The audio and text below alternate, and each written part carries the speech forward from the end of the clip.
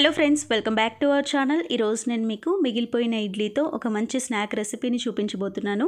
ఎప్పుడైనా ఇంట్లో ఇడ్లీలు మిగిలిపోయాయి అనుకోండి వాటిని వేస్ట్ చేయకుండా సాయంత్రం పూట వేడివేడిగా స్నాక్స్ని తయారు చేసుకోవచ్చు.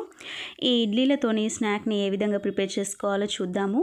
ముందుగా అయితే ఇక్కడ నాలుగు ఇడ్లీలు తీసుకున్నాను. వీటిని ఈ విధంగా తురుముకోవాలి.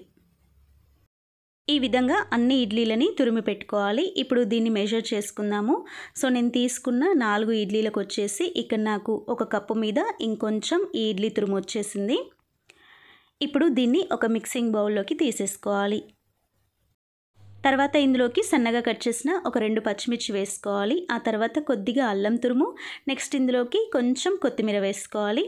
ఆ తర్వాత ఒక మీడియం సైజు ఉల్లిపాయని ఈ విధంగా సన్నగా కట్ చేసుకొని వేసుకోవాలి. ఆ తర్వాత అరకప్పు శనగపిండి వేసుకోవాలి. ఒక కప్పు ఇడ్లీ తురుము వచ్చింది కదా అరకప్పు శనగపిండి తీసుకోండి. ఆ తర్వాత పావు చెంచా ధనియా పౌడర్ వేసుకోవాలి. నెక్స్ట్ ఇందులోకి రుచికి సరిపడినంత ఉప్పు అలాగే కొంచెం కారం వేసుకోండి. ఆ తర్వాత కొద్దిగా కరివేపాకు కూడా వేసుకోవాలి.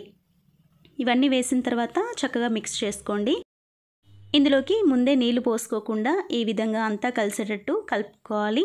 ఆ తర్వాత కొన్ని కొన్ని నీళ్ళు యాడ్ చేసుకుంటూ మెత్తగా కలుపుకోవాలి. చూడండి ఈ విధంగా కలుపుకున్నాం కదా. ఇప్పుడు చేతికి కొంచెం నూనె అప్లై చేసుకోండి. తర్వాత కొద్దిగా పిండి ముద్ద తీసుకొని ఈ విధంగా రౌండ్ బాల్ లాగా చుట్టుకోవాలి. సో మనం వడలు ఏ విధంగా అయితే చేసుకుంటామో ఆ విధంగా చేసుకోవాలన్నమాట. ఇలా వడల్లాగానే కాకుండా మీకు నచ్చిన విధంగా వీటిని తయారు చేసుకోవచ్చు. సో చూడండి అన్నీ కూడా ఇదే విధంగా తయారు చేసి పెట్టుకోవాలి. ఇప్పుడు స్టవ్ పైన డీప్ ఫ్రైకి సరిపడినంత నూనె పెట్టి వేడి చేసుకోవాలి. నూనె వేడెక్కిన తర్వాత ఒక్కొక్కటిగా ఆయిల్లోకి వేసుకోవాలి. మంటని మీడియం ఫ్లేమ్లో ఉంచుకొని రెండు పక్కల మంచి గోల్డెన్ కలర్ వచ్చే వరకు ఫ్రై చేసుకోవాలి.